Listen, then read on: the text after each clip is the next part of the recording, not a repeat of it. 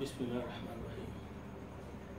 Leo asubuhi hii mji wa Dar es Salaam umezizima kama jina lake la zamani litakuwa.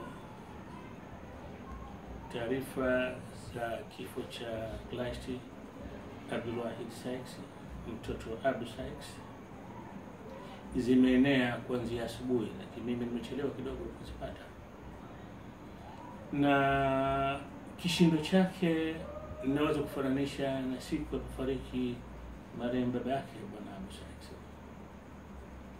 Christ ana mwanaye anaitwa Abdulwahid.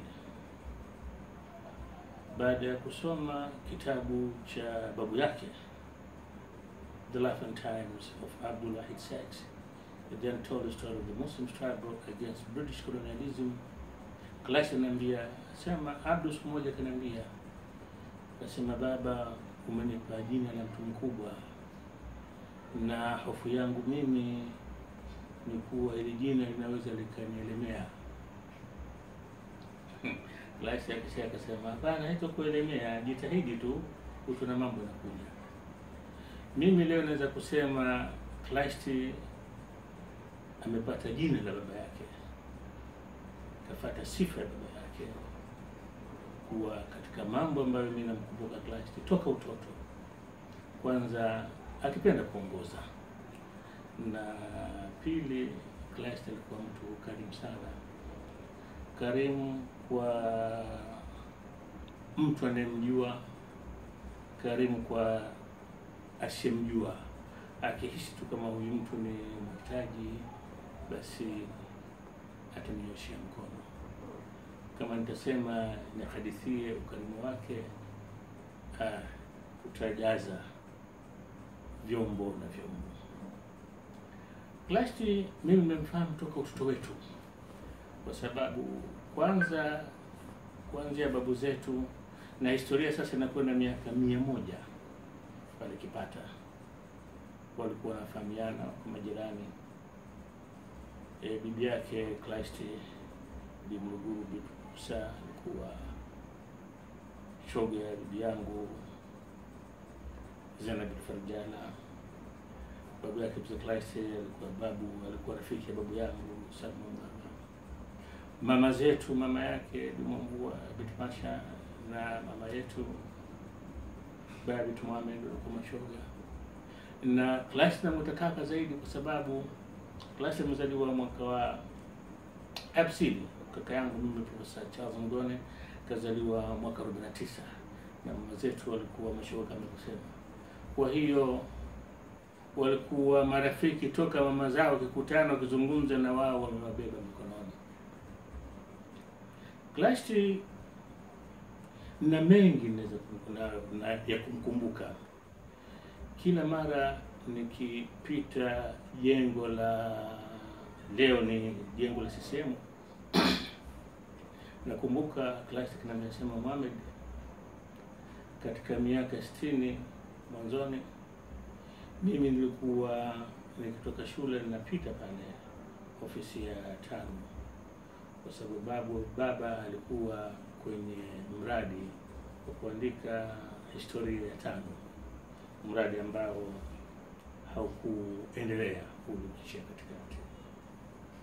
Clyst alikuwa na mengi sana katika historia ya tano, historia ya nchi hii, historia na urafiki kati ya baba yake na Mwalimu Julius Kambarage Nyerere, baba taifa.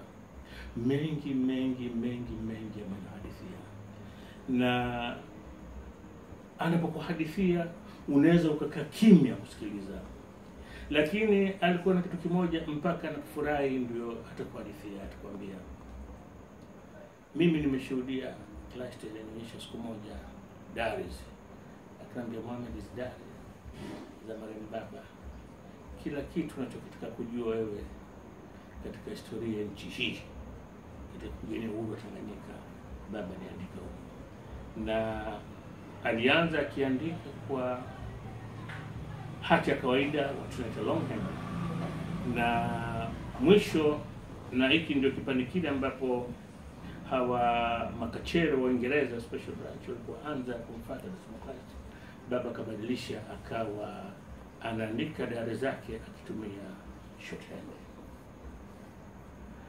Ni mara kwa mara nilikuwa nikiwa na Christ, nilikuwa najaribu kumuuliza hiki kilikuwa vipi, hiki kilikuwa vipi.